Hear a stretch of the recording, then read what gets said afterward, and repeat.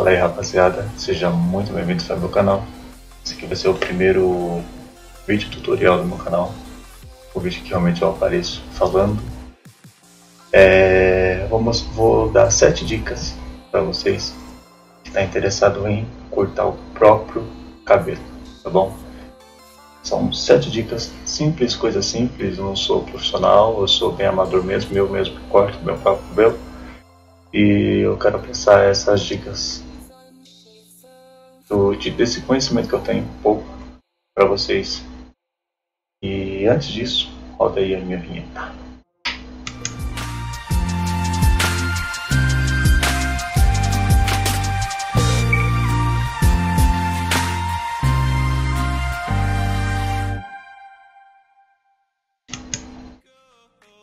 Beleza? É... Vou mostrar para vocês agora minhas redes sociais. Vocês, vocês têm Instagram e Snapchat, Twitch TV, Twitter e Facebook. Tá aí o meu usuário de todas essas redes sociais, essas cinco que tá aí mencionado. Entra lá e me segue. Se inscreve lá no meu Twitch TV, me segue lá no Snapchat, Twitter Facebook e Instagram. Beleza? Botar aqui.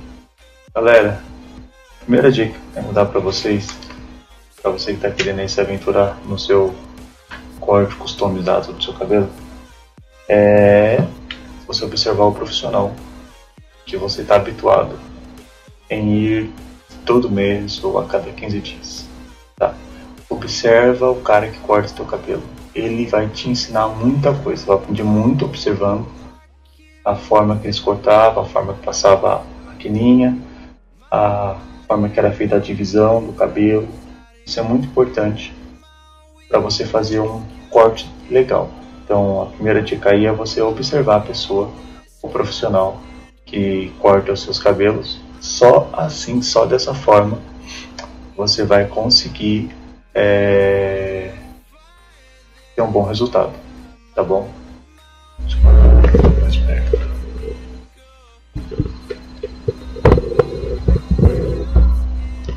Beleza. Segunda dica é faça com cuidado. Faça com muito cuidado, faça com muita cautela. Não não se precipite, não, tá? Faça com muito cuidado, muito cuidado mesmo, porque vai ser os seus cabelos e qualquer errinho que você fizer, qualquer merdinha, você vai ter que consertar. E às vezes consertando você acaba também destruindo e a única última saída em último caso vai ser passar a maquininha em tudo, tá? Então faz com muito cuidado. E, e a terceira dica é não ter pressa, não faça nada com pressa a pressa é inimiga da perfeição, já diz o ditado. Então, se você quer um corte legal e perfeito, não faça com pressa, faça com cuidado e sem pressa, tá bom? Ó, quarta dica já é uma uma informação que eu já vou passar para vocês que a primeira vez que você tentar cortar o seu cabelo, você pode ter certeza vai dar ruim vai dar ruim, mas é a prática, você praticando que você vai conseguir fazer um corte legal. Você vai praticando no seu próprio cabelo. Pra você ter uma noção, o primeiro corte que eu fiz no meu cabelo, eu entrei muito com a maquininha, muito com a maquininha. Eu fiz um buraco na minha cabeça, você não tem noção como é que meus cabelos ficou aqui em cima. Fiz um baita de um buraco na cabeça. E é o que eu falei pra vocês. A única saída é passar maquininha em tudo. Eu fiquei careca. Tá? É óbvio que eu não passei, não passei a zero, é claro. Eu passei uma mais baixa, uma mais baixa aqui. Eu passei essa aqui, ó. Que era o, a última saída. E em cima, para não ficar muito baixo, eu passei uma mais alta. Eu acho que foi a 13. Acho que é essa aqui que tá aqui mesmo. É, eu passei a 13. Acho que não dá pra ver. Aí, ó, ao contrário, não tá certo. 13 e do lado eu passei a 1. Passei a número 1, que é, o, é 3 milímetros. Então aqui eu passei a 1, e aqui em cima eu passei a 13. Com um corte bem militar, mas eu tive que fazer isso porque eu estraguei. Eu estraguei o cabelo, tá? Então, é, o seu primeiro corte vai dar ruim. Vai dar ruim. Então, fique ciente disso. O seu primeiro corte vai dar ruim. O primeiro corte que você tentar fazer não vai dar legal. Fique ciente. É por isso que as minhas segunda e terceira dica foi para você fazer com cuidado e não ter pressa, porque quando eu fiz meu primeiro corte, eu não fiz com muito cuidado e eu não tive eu não tive muita paciência. Eu estava um pouco com pressa, então deu merda, tá bom? Minha quinta dica. Deixa eu só marcar aqui, senão eu esqueço. Ó, quinta dica. Para você começar sempre com o pente alto. Eu tenho aqui, ó, deixa eu colocar todos. Todos no lugar.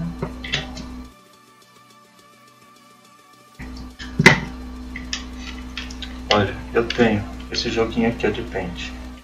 Eu comprei separado. Eu queria pente mais alto. A minha maquininha veio acho que até os 13.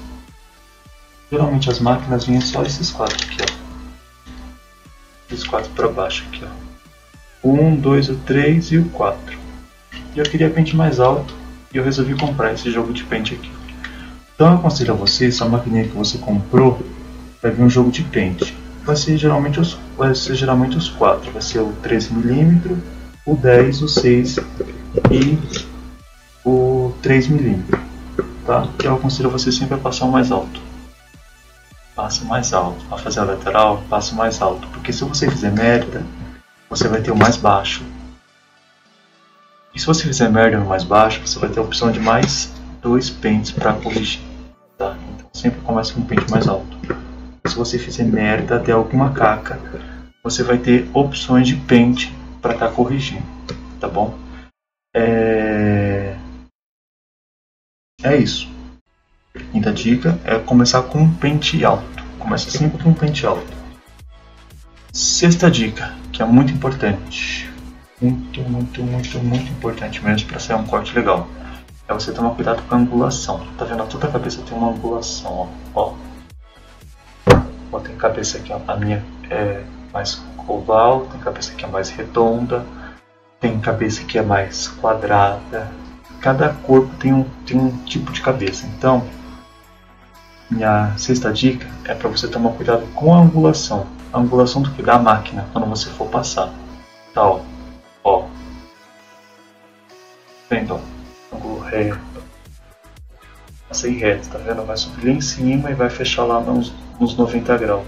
Se você entrar muito, pode ser que você acabe com a lateral, aí vai depender do que você vai cortar. Tá? Então toma cuidado, eu aconselho sempre a passar com uma angulação reta, você que está começando agora, sempre passar reto com a tua maquininha. Subiu, reto, não entrar, não fazer entrada nenhuma. Com a maquininha é como se eu passasse o pente aqui. Ó. Ó ela vai arrancar exatamente isso aí que está mostrando, tá vendo? Subiu reto, tirou, subiu reto, tirou. Passa umas duas vezes. E é isso aí. E o ângulo também tem que tomar cuidado. Eu vou pegar uma maquininha aqui como exemplo, não é essa que eu corto o cabelo, eu vou falar dela daqui a pouco. Na hora que você for passar a maquininha no pente, ela sempre tem uma folga. Ela sempre tem uma folguinha. Vou ter que pegar a minha aqui para mostrar certinho o que eu tô falando.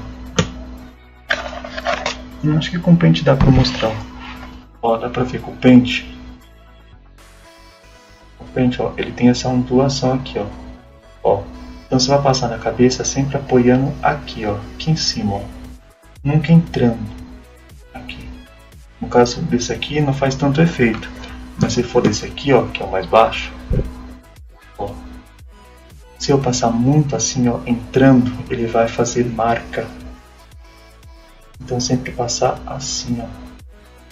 Não entrando, não encostando isso na cabeça. Eu quero dizer, não assim, ó.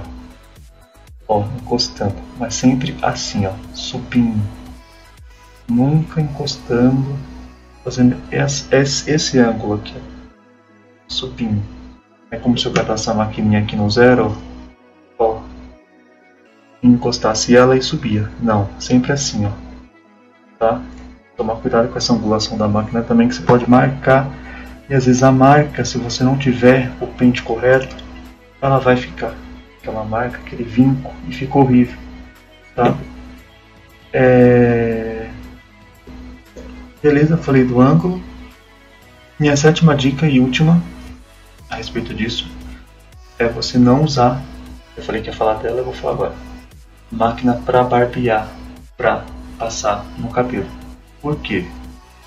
Essa aqui no caso, olha essa marca aí, ó. Ela é muito fraquinha.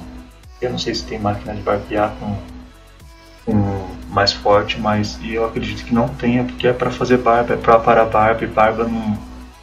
Barba rara é, é, mais grossa, entendeu? Tem cabelo que é mais fino e tal. O meu é fino, o cabelo é fino. Então, não aconselho a não usar. Tanto é que essa daqui, eu, ela tem o, o suporte para o pente, ela tem até aqui, ó, a altura. Né? A altura que eu posso regular, ó. Mas eu não uso, eu tentei usar, tá? Tô falando isso por experiência mesmo, tentei usar. Na hora que você passa, ela puxa o cabelo. Ela enrosca, ela não corta. Ela não corta o cabelo. Tá? Devido à potência ser baixa. Ela não corta, ela enrosca o cabelo ali dentro e vai puxando. E é horrível, cara. Horrível, horrível, horrível. Então, não usa máquina de barbear. No caso, essa daqui, já tentei usar e não deu certo. A que eu uso essa daqui, ó, eu tenho os pentes dela aqui. Eu arranquei todos para tentar tirar ela. Ó, são quatro, conforme eu falei.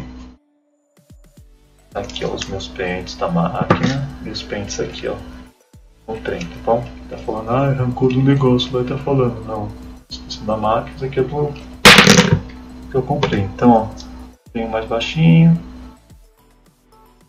médio e os mais, e os mais altos, tá? E aqui eu uso essa daqui, ó. Essa da O. É boa, nunca perdeu o corte. É bem. É home mesmo, home pro basic. É bem para uso mesmo. Não, não tão assim profissional, né? Não uso direto, porque no cabeleireiro é, é constante, é toda hora usando. Essa daqui eu uso a cada um mês, a cada dois meses. E depende muito do que eu vou fazer também no cabelo, demora um certo tempo para deixar crescer. E atende. Atende para uso doméstico, atende. Não é assim um cabeleireiro que tem que estar tá usando com toda frequência. Eu acredito que se ela tivesse num cabeleireiro usando com muita frequência já não, não prestaria, já teria pifado. Mas é claro, né? Sempre colocando o olhinho lá depois de cada usada para o corte não perder mesmo, não perder, limpando a máquina. Galera, é isso aí que eu tinha para falar para vocês. É, tome cuidado com a angulação, não faça com pressa, tá? Tome cuidado com a angulação, é, faz com cuidado que tá legal, tá super legal. É, eu vou ficando por aqui. Fiquem aí com essas sete dicas e um ótimo corte para você. Tchau, tchau.